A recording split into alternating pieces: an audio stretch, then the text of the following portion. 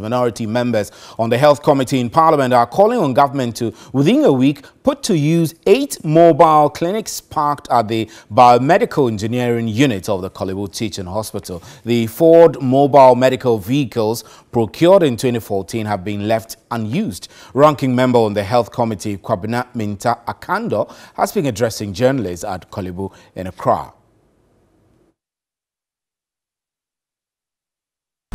Um, is, quite pathetic, very, very disheartening. And it's indeed the case that this government is joking with the health sector of this country. I believe that if there's any sector at all, uh, if there's any ministry at all that must be prioritized, it should be the health sector.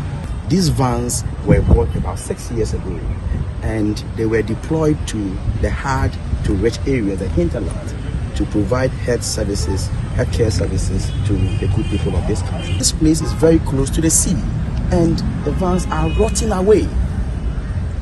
How are we putting to good use the taxpayers' money? These vans were procured by the, tax, the taxpayers' money.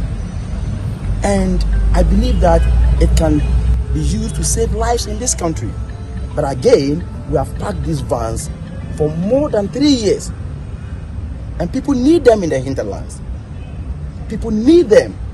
And they serve various purposes. We have the dental the ophthalmology the general medical mm. care and what have you. The ent and all that.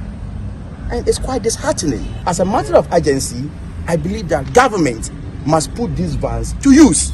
They should deploy them. They should deploy them to the various hinterlands to serve the good people of this country. Will you be surprised if there are contractual issues with respect to these vans you see, these vans were in use. These vans were, it's not as though they were packed, they were bought and packed, and that they, they didn't take delivery of the vans and that there were procurement issues. These vans were in use before and during 2016.